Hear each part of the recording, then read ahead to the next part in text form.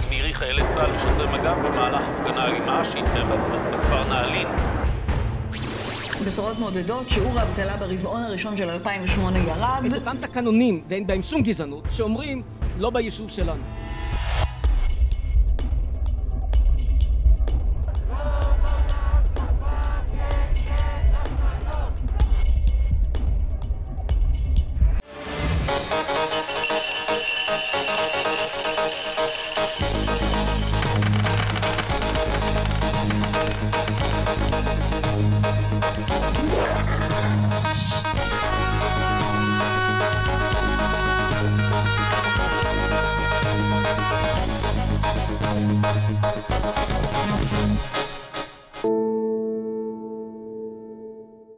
اسمي احتفال إبراهيم غماريه من معاوي مولوده من معاوي يعني. أنا لا مش متجوزة. أنا متكيفة مع الوضع وماشي يعني مش مشكلة عندي. تعلمت عقد ست ماس بس ما اشتغلتش بهاي اللي تعلمته. لأنه بفترة اللي تعلمت صعب الواحد بكى يسافر ويروح ويجي يعني. لأنه إحنا قرية هنا مثل ما تقول امسع شمكم بكاش في عندنا سفريات من جديد صار عندنا يجي باص ويطلع ويجي. الواحد ما تقدر تطلع من البلد يعني بدها توقف في, امتحانات يعني بجوز بدها ساعة ساعتين. تيمرق حدا عليها بعرفها ويركبها بالسيارة. عشان هيك الأكثرية اللي بالبلد بيشتغلوش. هسا لك البلد يعني بالنهار فاضي فيش حدا كلياتهم برا. يعني أكيد فيش فرص عمل فيش عندنا يعني خالص. بتمنى المجتمع العربي والمجتمع اليهودي يعيش لأنه بالفترة الأخيرة كل ما يعني بالأكثر بيبعدوا عن بعض والعنصرية بتزيد وكل يعني بتمنى إنه يعني يصير سلام وانه نتقربوا من بعض لأن مفروض هي دولتنا يعني مفروض إحنا عايشين مع بعض ومفروض الواحد يتقبل الثاني مشان نقدر نعيش بهالحياة هاي هون بالدولة أنا كلثوم أول هيجة أم روحي أم لسبع أولاد ربة منزل طبعا ولكن صار لي 16 سنة في مهباخ تغيير وعم نشتغل للتغيير من كل الاتجاهات. بتمنى للنساء إنهن ما يكونش عندهن خوف يعبروا عن رأيهن ويعبروا عن إيش بدهن بدون خوف دائما بحرية حرية التعبير. أنا بحب التمرة الناس الموجودين فيها متفاهمين وفي منهن الواعي وفي منهن المثقف وفي منهن المتعلم. في أشياء بتعجبنيش بتمرة عدم التنظيم في تمرة عدم المسؤوليات. بالنسبة لإلي الوطن الحياة المضبوط الحياة بتوحش لإشي مريح في هاي الدولة. بتمنى لأولادي إنهن يفهموا إنه الحرية الرأي بالأول حتى يقدروا يطالبوا بحق إلهن موجود في الدولة. اسمي كرم حجازي عمري 23 سنة. بتعلم تمريض بجامعة حيفا لسه بالسنة الرابعة إن شاء الله. من هواياتي إني أقرأ كتب اللي هي كتب روايات طويلة. ومن هواياتي كمان إني أحضر football مش ألعب football. أنا بشجع فريق ريال مدريد. لما أكون بين عيلتي بحس إن أنا أقوى بني آدم أقوى. عندي معرفة مخاء مرة رحت بمشروع اللي كان اسمه خطوة واحدة أمام الجميع بجامعة حيفا اللي كان المفروض نبات هناك لجمعة. حسيت قديش أنا حابب أروح على الدار وحابب أكون قريب من العيلة تاعتي لأنه صعب أنا أتعامل مع الغربة. بالنسبة لي الشراكة هي إشي كثير مهم ولازم يكون موجود بالمجتمع اللي إحنا عايشين فيه. عشان يصير هذا التعايش المفروض البني آدم يحس حاله إنه ماخذ كل حقوقه ماخذ كل الاحترام اللي هو بيستحقه. يحس حاله إنه شافيه مول شافيم يعني إنه يحس حاله متساوي مع الآخر. أم اسمي قدر ندى بركة أم إحنا أصلنا من سفوري. أنا بتعلم بألمانيا الي ست سنين. وهاي عطلتي. بالأول بألمانيا كان كتير صعب لأنه ما كنتش أعرف حدا رحت على بلد ما بعرفش فيها ولا أي حدا. وهناك زي كان لازم الواحد يبلش حياة جديدة من أول وجديد. كان عمري 18 سنة. أول شهرين ثلاثة كانوا كتير صعبات. كنت أضلني قاعدة مع أمي على التليفون. بس آه، بعدين صار أحسن تعرفت على ناس بعدين صار عندي هناك أصحاب كتير زي عائلة صغيرة لهناك. ليه في كتير كل صحبة أصحابي وصحباتي بعدين هون أنا الوحيدة اللي طلعت لبرا. بس هن آه، كان بدهن يعملوا بسيكومتري يعملوا المقابلات تاعون الجامعة وبعرفش إيش. واستنوا سنة سنتين ثلاثة عشان ينقبلوا على الجامعة. الترجمة تبعت الامتحان. يعني يعني مستحيل الواحد يفهمها كلها. أنا كتبت بقروت بالعبراني لأنه البقروت بالعربي الترجمة تبعته عجيبة يعني ما ينفعش الواحد يفهمه. آه، البقروت الوحيد اللي كتبته بالعربي هو بقروت العربي والباقي كله كان بالعبراني لأنه بينفعش يعني أنت كعربي كأنك لأنك مش عامل خدمة عسكرية خدمة مدنية ما بعرف إيش آه، عندك دغري مينوس طوالي. انت بمينوس عشان هيك صعب مش مستحيل بس صعب קוראים לי קלרה טובאסי. אני גרה בירושלים בשכונת ואד אל-ג'וז, שזה במזרח ירושלים. אני ממקור מרומניה, מבוכרסט. הגעתי לפה לפני 17 שנה אה, כתוך עולה חדשה, ואחרי אה, שש שנים אה, הכרתי את בעלי שהוא ממזרח ירושלים והתאסלמתי, ומאז אני גרה שם איתו. אני ואד אל-ג'וז לא ממש אה, אוהבת, כי שכונה מוזנחת, לא דומה למערב העיר. זה, אין לנו שם אפילו גן ילדים, בתי ספר, הילדים שלי לומדים בדו-לשוני, בבית ספר דו-לשוני שזה בשכונת פת. יש לי בן בגיל 16, כיתה י' או לי"א, והבת שבגיל 10.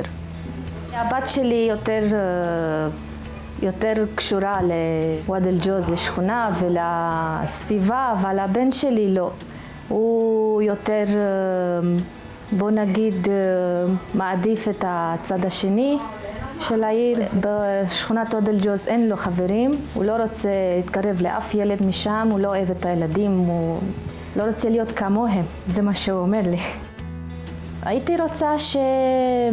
שלא יצטרך לעלות על האוטו ולצאת לגן משחקים שזה בשכונה אחרת. אני הייתי רוצה ללכת סתם ברגל לגן משחקים ול... וגם ליהנות שם, שיהיה יותר, יותר פיתוח. אין פיתוח בוואד אל-ג'וז. כאילו זה בצד ואף אחד לא מסתכל שם. אני מחמוד אבו סאלח, אני לומד אה, הנדסת חומרים, שנה שלישית. אה, אני בן 24 אה, עוד מעט. אני במקור מסכנין. אני מגיע ממשפחה שמורכבת משישה אנשים, שני אחים ושתי אחיות תאומות. אני מגיע מבית שהוא גם כזה די מעורב וגם די פעיל. מגיל קטן הייתי הולך לעוזר בחד"ש וגם כשהייתי אז בנעוריי בבית ספר הלכתי לבנקי לברית הנוער הקומוניסטי ועכשיו, אתה יודע, זה תהליך שמתמשך. לי ספציפית המעבר מסכנין לבאר שבע היה, אפשר להגיד שהוא היה קצת יותר קל. אני למדתי בבית ספר דו-לשוני, שלמדנו שם ערבים ויהודים ביחד, בית ספר גליל. אז ככה שמבחינת שפה או מבחינת להבין את התרבות של מי שמולי או שמי ששונה ממני, היה לי יותר קל לעשות את זה. היה מקרה אחד ש... שבוע הספר שעושים כאן בקמפוס. אני פוגש קבוצה של כמה סטודנטיות יהודיות שפשוט מחזיקות בספרים ומעיינות בספרים. אחת מהן מחזיקה ספר של סופר ערבי, שכחתי את שמו, ואז מגיעה מישהי, פשוט אומרת לה, עזבי, זה סופר ערבי, מה יש לך לקרוא בספר הזה? זה היה, זה היה גזענות של... מבוסס, מבוססת על תרבות, של לשנוא את התרבות של האחר, אפילו את השפה. זה אחד מסוגי הגזענות שכן היה לי קשה איתם. אני ממליץ על מה שהזכרת גם לפני, על הבית ספר הדו-לשוני, או על השיטת סגנון דו-לשונית. אני חושב שזה השיטה שבסוף אחד יכבד את השני, אחד יבין את השני. זה מתחיל מהדברים הקטנים של שפה, וזה פתח לתרבות, ופשוט לכבד את האחר גם אם אתה לא מסכים איתו. אז אה, בסוף אין פה מישהו שיכול לזרוק את השני לים, או הפוך. אנחנו פשוט חייבים לחיות אחד אה, ליד השני, ואני חושב שזה מתחיל ב- ב- בלימודים, בגיל קטן. אני סטודנטית לאדריכלות עיצוב פנים בתל אביב. עשיתי קורס בסייעת רופא שיניים ואני עובדת רופא שיניים זמנית עד שאני אמצא עבודה, עד שאני מסיימת את הלימודים ואני אמצא עבודה כאילו בתחום שאני לומדת. אם אני לומדת יומיים בשבוע אז לא שווה לי להשכיר דירה, לגור בתל אביב, זה המון כסף. אז אני מעדיפה לגור עם ההורים. יש כאלה שבחרו לגור, הם אחרי שנה אמרו לא, זה לא משתלם, ואני מעדיפה לגור עם ההורים. אני רק לפני כמה חודשים הצטרפתי אליהן, בגלל הלימודים שלי, העבודה שלי, אין לי זמן, כאילו. אז אה, מתי שיש, פעם בשבת או שישי, או מתי שיש לו חופשים ויש להם כאילו ישיבה, אז אני הולכת, יושבת איתם. קוראים לי מלק, שם המשפחה שלי חליל, אני בת 21, אני סטודנטית שנה ב' אה, לתואר מנהל עסקים ניתוח מערכות מידע, אני גרה בכפר נוער בצפון, אני מרגישה ממש ממש שייכת למשפחה שלי, יש בה כל מיני ככה רגשות שאני מרגישה בנוח, זה העולם שלי, אה, אימא שלי, אבא שלי, אחים שלי, אני הבית הבכורה לה, לה, להורים שלי, אז מרגישה קצת אחריות, קצת בתפקיד מעל האחות בבית, מעל ה... אולי זה תפקיד, זה קרוב לתפקיד האימא. אני כאן, כאילו, אני קיימת, יש לי אישיות, אני יודעת לדבר, יודעת להתנהג, יודעת לכבד אנשים, ואני גם מצפה מאנשים גם שיחזירו לי אה, אותה, אותה התנהגות. יש דברים שמפריעים לי, אולי שזכויות, שאנחנו חייבים לקבל קצת יותר זכויות, ואנחנו עדיין לא השגנו. זה דבר שממש מפריע. יחסית ל... ליישובים היהודים שיש, אין תקציבים. קצת עניין התקציבים, קצת כן מזיק. אני מרגישה שזה ממש, אנחנו אולי שלא השגנו אותו כמו שצריך, זו זכות שממש אנחנו חייבים אותו. אנחנו, קודם כל, הוא חייב שיהיה שיתופי פעולה בין המדינה לבין התושבים, שממש יקשיבו, שתהיה אוזן קשבת לתושב, לתושבים של המדינה, לדבר בשם שלהם. אולי שהם... וקצת נמצא אוזן קושבת, אולי שנמצא מישהו שישיג לנו את המטרות האלה, את הזכויות האלה. يعني، اني منصور النصاصرة اني آه، يعني نلتي بكفاش نكرات تل الملح واني يعني يوم متقرر براحات اني لما تتوش لشي بأنجليا بإكستر وجنب بوستكتورات يعني لماتي كم سنة بلندن. أتيم بخلال بأولى مزحين وها أيتجار آه، و ובסוף, למרות שלא הייתה מערכת חינוך מפותחת, בעצם ברהט יש הרבה, הרבה סטודנטים שכאילו שלמדו בחו"ל והצליחו. הרצון שלי ושל, והתמיכה של, של ההורים שלי בעצם הביאה לזה שהתחלתי ללמוד כאן באוניברסיטה בשבע ב-98 ורק, ושם רק התחיל את הדרך, רק התחלתי את הדרך בעצם. כמובן, כולם שואלים את השאלה איך, איך אפשר לעשות את, ה, את המהלך הזה בעצם. אתה בעצם מגיע מהאוכלוסייה הכי מוחלשת בכלל בארץ, ו, ו, ואתה מגיע בעצם ל, ל, ללונדון. אני חושב שתהליך שאני עברתי אישית הוא תהליך ארוך. אני עבדתי קשה בשנים האחרונות. ואני קיבלתי תמיכה של, של ההורים. סיפור ההצלחה של ללמוד באחד האוניברסיטאות הכי טובות בכלל באנגליה, אני חושב שפתח את הדלת היום להרבה צעירים להגיע ללונדון. צעירים בכלל, אפילו חלק, חלקם כפרים לא מוכרים. אני חושב שהרגעים הכי, הכי מעניינים היו ברגע שאני קיבלתי זימון לדבר בפרלמנט הבריטי על המחקר וגם על המיעוט הערבי פלסטיני בישראל. הצעדים האלו נתנו לי הרבה, הרבה כוח, שבאמת אפשר להגיע מאחד הכפרים הכי עניים בכלל בישראל, ואני חושב מהסיפור הזה אפשר, אפשר בעצם לתת הרבה מוטיבציה לצעירים, שאם יש לך את האומץ ויש לך את הכוח, אפשר גם להגיע למקומות הכי טובים בעולם.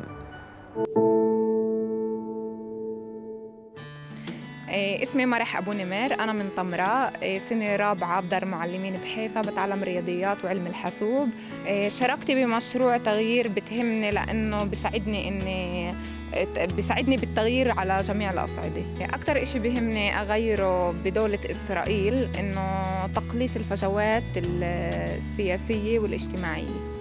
أكثر إشي بحبه بالحضارة العربية هو الانتماء. الانتماء لبلدي لعائلتي لقرايبي لأصحابي. الانتماء لطمرة. اسمي مروة طه من كفر كنا. العمر 30 سنة. أم لثلاث أطفال. أنا بشتغل حاليا صاحبة بيت ضيافة بكفر كنا. إحنا استأجرنا بيت وعملنا غرف للسواح اللي بتيجي بتنام بكفر كنا.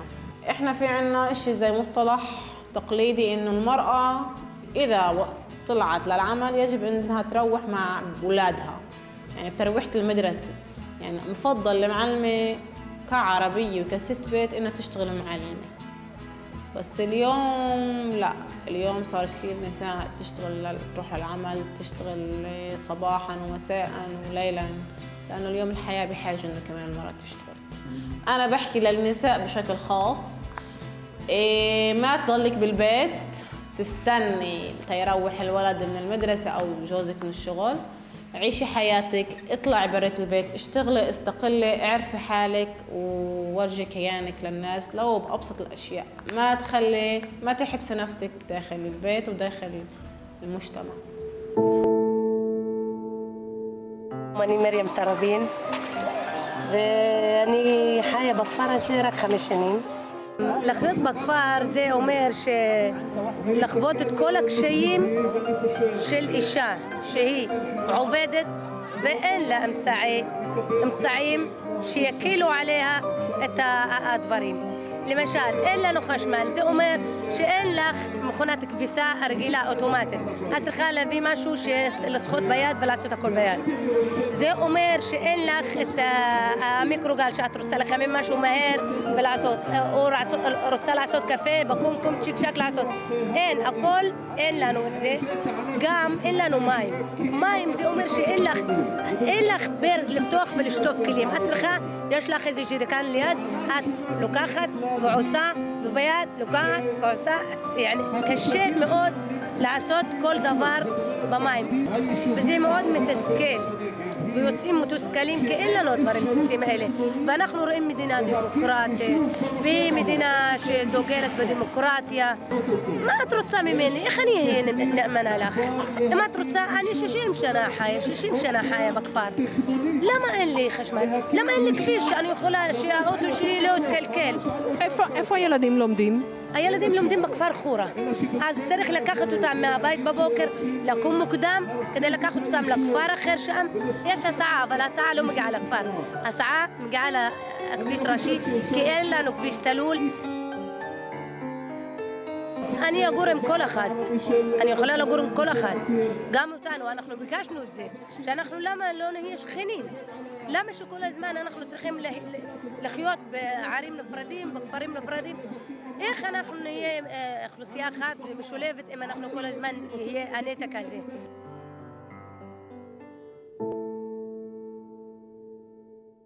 أنا ميسر خميسة من كفر كنا متجوزة وأم لثلاث بنات. سمعت عن الدورة هنا من عن طريق الفيسبوك. أجيت واشتركت مع مجموعة من نساء عربيات ويهوديات. نلتقي كل يوم خميس. جديد صرت أعرف هون اليهود بالمركز السندياني. ما أول مرة يعني بتعرف على يهود أما بالأول لا ما كنتش أعرف لأني كنت موجودة بس بالبيت. إن أنا بحس إنه عند اليهود معشن أكثر من عند العرب. المعاشات عندنا واطية أما عند اليهود بعطوا أعلى. بيكونوا بنفس الوظيفة بس لليهود أكثر. بالنسبة للبنية التحتية لكل بلد عربية إيه، غير مقبولة و... ومش منيحة كتير. أما عند اليهود كل شيء مرتب كل شيء منظم. كل شيء موجود طلباتهم إيه، كل شيء متوفر عندهم كل إنسان بيطمح بيطمح للمساواة. المساواة مش مش مش بس مجرد حكي بدنا فعل. يكون الإشي فعل يعني يطورونا بشكل أحسن. لأنه هذا لا إشي بيتعلق بالدولة مش فينا إحنا. إنه أنا منى نحلة. إيه، اصلي من يافت الناصر ومتجوزه لكفر كنا صار لي 17 سنة بكفر كنا عندي أربع أولاد بنتين وولدين. بنتي بدها تتعلم مش بإسرائيل بدها تتعلم ببريطانيا. هي كانت فإحنا عم نحاول إنه نقنعها إنه هون أنجح لها وأسهل التعليم. يعني أنا بتمنى إنه بنتي إيه، تكون متفتحة أو إنه تعرف بال- بالحياة أكثر من إحنا كيف إحنا تعودنا. إنه أنا كنت حابة إنه شوي تكون عندي اللغة العبرية أحسن. شغلي كان بين عرب ما كانش في عندي لزوم إنه أحكي بالعبري. أما اليوم لا اليوم أنا مضرورة إنه أكون أعرف لغة عبرية. أمنيتي إنها إنه يكون في حياة أح... أهون ومثقفة وثقافة أكثر لأولادي من اللي أنا حصلت عليه. في أشياء اللي هي شوي بعد بدها يعني بدها تغيير إنه تكون ل- للأحسن. في الشروط بالمعدسات عنا. شوي بتيجي كتير متأخرة. إشي بسيط مش هالكاد صعب. يعني إنه يصير في تغيير للإشي الأحسن. لأنه إذا موجود بمناطق يهودية ممكن يصير بمناطق عربية.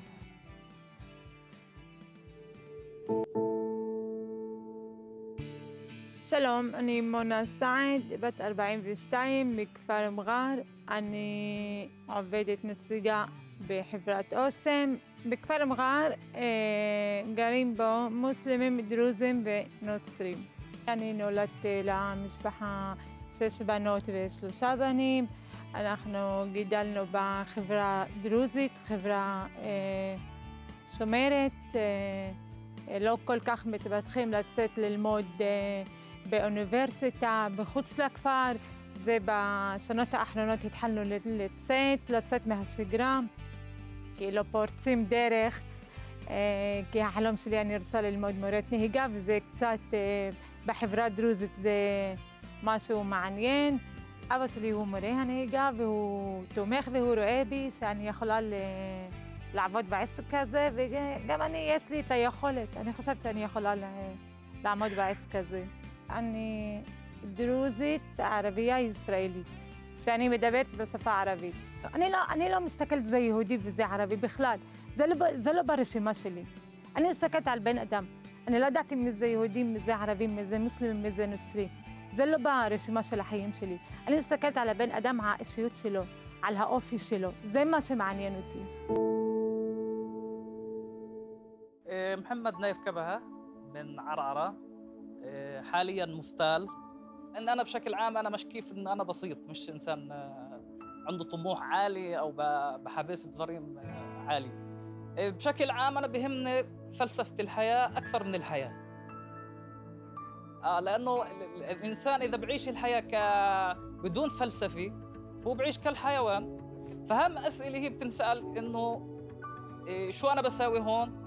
شو شو شو مقصدي في الحياة؟ وين رايح؟ شو بستنى فيه هل في إله؟ فيش إله؟ في في دين؟ فيش دين؟ أنا أعتقد إنه آه، مثل ما قال برتنارد راسل في آه، مقال مدح الكسل إنه تقسيم ال- ال- ال- الثروات أو تقسيم المادي آه، غير عادل. يعني البشرية بتشتغل فوق طاقتها وفوق حاجتها. فالعالم مش بحاجة لكل هالمصانع اللي تشتغل 24 ساعة. والإنسان العامل البسيط مش ملحق آخر الشهر. من هاي المنظور أنا أؤمن في نظرية برنارد راسل وإنه لازم يكون في عدالة اجتماعية لكل الناس وهو هذا أهم شيء يعني بالنهاية تقول لي مثلا إسرائيل تقول لي فلسطين تقول لي هذا أنا كمواطن هذا مش لا مدبر إلي. أنا اللي بي- بي- بيحكي إلي شو أنا عايش قديش معي مصاري. أنا بقدر أستمتع بقدرش أستمتع. بقدر أخذ حريتي في حرية فيش حرية. هاي أهم شيء أشياء موجودة في العالم. אני מוחמד סורי מיפו, יליד עכו, גדלתי פה ביפו, באנו משנת 53 ליפו, מאבא שלי זכרונו לברכה.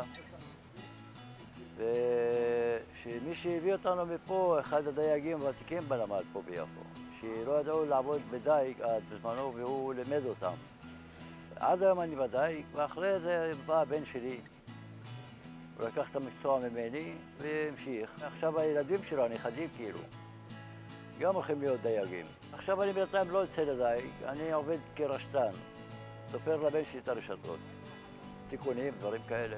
הדם שלנו נבנה בים. אי אפשר, לה... כי אנחנו כמו דג. מוציאים אותו מהמים, מת. אותו דבר אנחנו. וקודם כל אני מבקש מראש העיר אפילו, שיבוא פעם לביקור לדייגים, יישב איתם, נשמע אותם.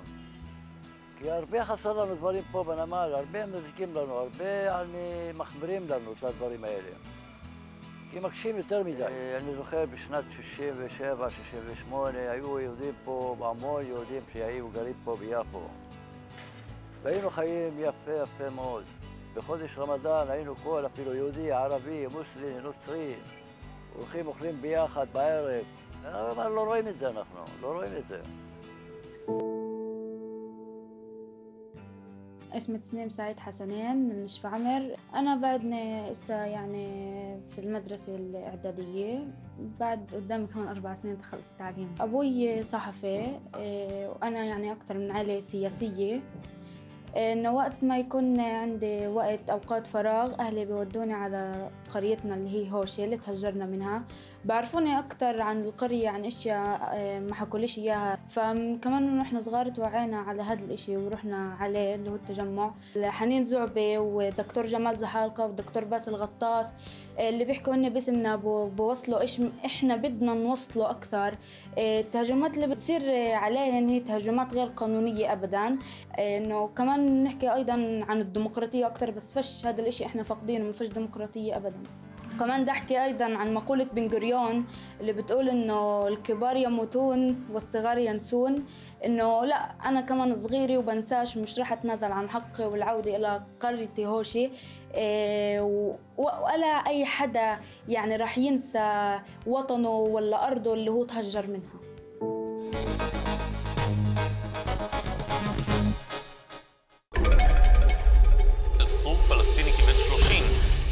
מירי חיילי צה"ל ושוטרי מג"ב במהלך הפגנה אלימה שהתקיים בכפר נעלין. בשורות מעודדות, שיעור האבטלה ברבעון הראשון של 2008 ירד. את אותם תקנונים, ואין בהם שום גזענות, שאומרים לא ביישוב שלנו.